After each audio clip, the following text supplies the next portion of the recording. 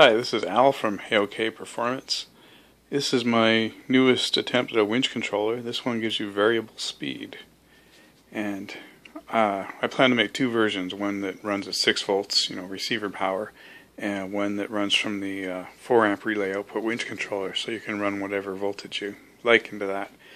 So here it is on the 6 volt controller, right there.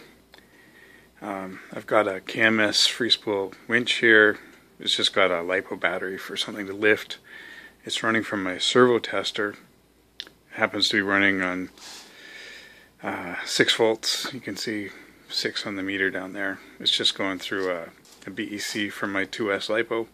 That doesn't matter though. What you want to see is the winch work. So I'm going to let it down a bit. Go slowly. And speed it up. Back to stop. And we'll go up.